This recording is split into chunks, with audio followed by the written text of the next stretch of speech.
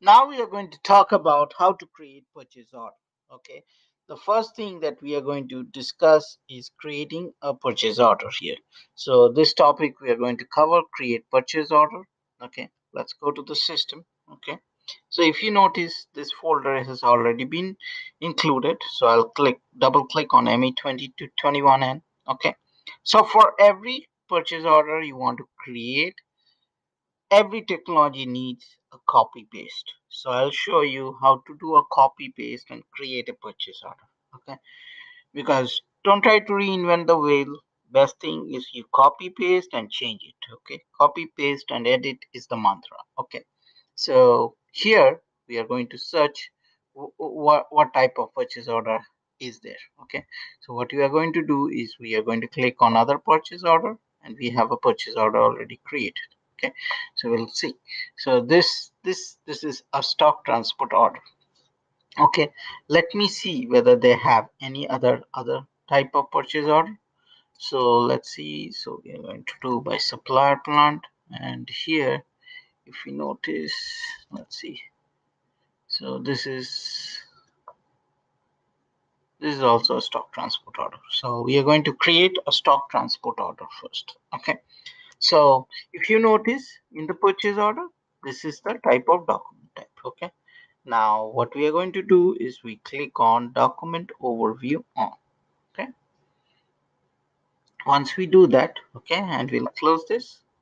And here you click on per you click on this button we click on purchase order okay? Okay by default the purchase order that we selected is selected. Now we'll click on execute okay and now we'll click on create. Okay? If you notice now it's a blank screen. Now what you have to do this is very tricky. You click on it and you drag it. The moment you do it okay all this thing all the documents that was there in that purchase order gets copied. Since it's a stock transport order it requires a supplying plant. So what i'm going to do is I'm going to save it here. So if you notice in the item, you can see all the details that has been. So this is this has a material doc material number. Okay. So if I double click on the material, it takes me to the material. Okay. So if you notice, this is an external number range. Okay. The material. Okay. So here now we are going to click on save okay? Now other portions let's cover some of the header header data that you that got copied okay? The first important thing in a purchase order is a purchase organization.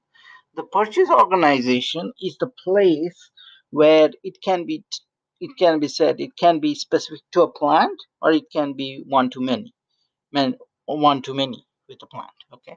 Then is the purchasing group. Generally it's just a buyer name and then you have the company code. Okay company code is important because that's the fi portion okay?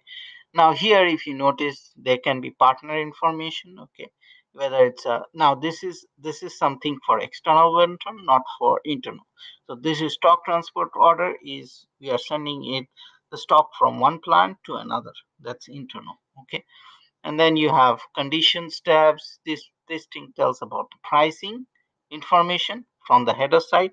Now if i go if you scroll down to the right you can see all the other information that is useful okay?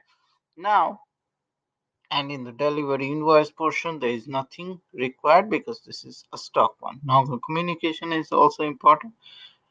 If this was an external vendor all these things would be filled up okay? Now click on save.